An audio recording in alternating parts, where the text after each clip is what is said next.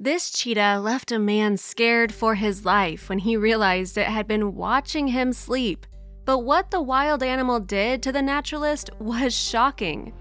Humanity has always found wild animals to be fascinating. In fact, in 750 BC, ferrets were domesticated and ancient Egyptians had leopards as pets. In modern times, red foxes are more common as pets. But what about a cheetah? One man considered it. The naturalist loved the idea, but then he dozed off out in the field near the cheetah's vicinity. All of a sudden, the caregiver found himself stalked and his very survival was in jeopardy.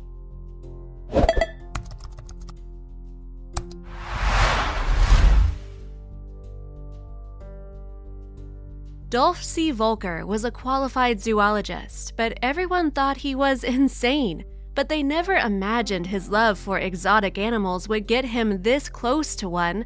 A couple of years ago, Dolph went to South Africa to visit a cheetah sanctuary, which dedicates itself to healing and saving cheetahs who are on the endangered species list.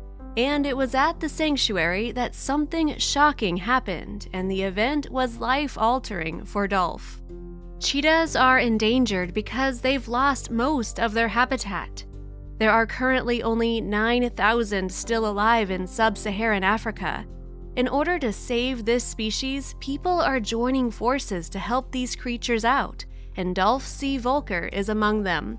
He became part of the cheetah experience in Bloemfontein, South Africa, but no one imagined how one cheetah would react to Dolph as he slept in its turf. Dolph tried to keep a respectable distance from the cheetah and interacted with the creature through a fence in the sanctuary. Eventually, he got a bit too comfortable and demanded to be allowed to get even closer to the cheetah.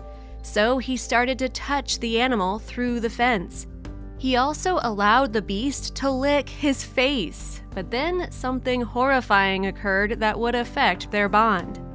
Dolph had allowed the cheetah to groom him, which is a vital process in order to form a deeper bond.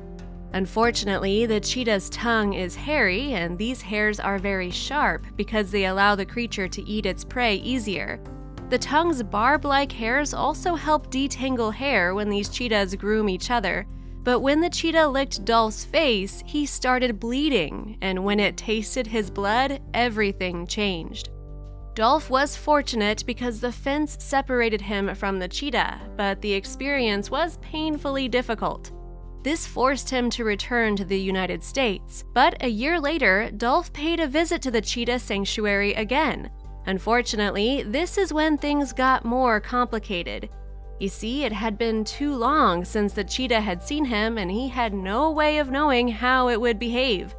Dolph pushed his luck by returning to the sanctuary because he wanted to be reunited with the cheetah he befriended. People warned him against meeting the creature face to face, but he didn't listen. He entered the domain of the animal. Then he turned his back to it, which was a serious mistake. As soon as the cheetah noticed what he'd done, the hunter began to stalk its prey. At this point, Dolph realized his life was in serious danger. Dolph turned right in time, and when he did, the cheetah recognized him right away. So instead of meeting a horrible end, the cheetah said hello to its human friend by licking him. It seemed like the animal only wanted to greet him, which was fortunate for Dolph. But he knew things could have taken a bad turn since cheetahs are wild animals. Since barely escaping with his life the first time, Dolph had gotten a little more confident. But people still had to remind him not to underestimate the cheetah. After all, this wasn't a tiny cat, it was a large predatory creature. But Dolph didn't care. He felt comfortable with the bond he formed with it. This stressed the cheetah sanctuary workers a great deal. Dolph was coming and going into the cage. Then one day, he fell asleep. It was an extremely warm South African summer afternoon when Dolph paid the cheetah a visit. Temperatures were in the mid 90s, which made it difficult to keep his eyes open. So Dolph found a nice shade under a tree and relaxed, but then he accidentally fell asleep. When the cheetah noticed this, it started stalking him. When Dolph woke up, he was shocked. The cheetah was purring as it curled up by his side. Usually, a cheetah only purrs if it's happy, so when Dolph heard the purr, he was very relieved. This experience proved that the cheetah really did love him. It could have attacked him, but it ignored its natural instinct and decided to curl up next to him like a domestic cat. This touched Dolph, and what happened next was amazing. Dolph had built a strong bond with the male cheetah called Gabriel, and it's easy to understand why. Dolph had cared for the creature since he was a cub, so after the recent heartwarming experience, it made sense that Dolph would buy Gabriel, which would allow him to visit the cheetah whenever he felt like it. But Dolph's plans were even bigger than a simple adoption. He had huge plans in mind for Gabriel.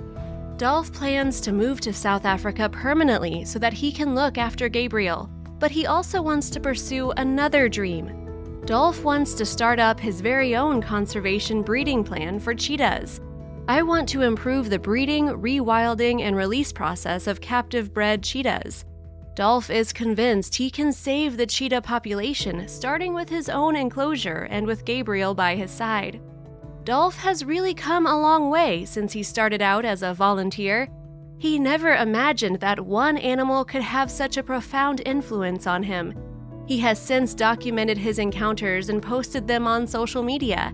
With Dolph's help, people have fallen in love with cheetahs and they no longer see them as predators worth fearing. In fact, people are more aware of the plight these creatures face, and it's all thanks to the work of Dolph C. Volker. Dolph has created an ongoing legacy with his breeding program. Meanwhile, he continues to post on social media to let his followers know how he and Gabe are doing. As the number of followers continues to grow, the conservation project will undoubtedly gain more support. And with the help of others like Dolph, endangered animals have a fighting chance. The cheetah population will continue to thrive in this world so long as Dolph and his legacy continue.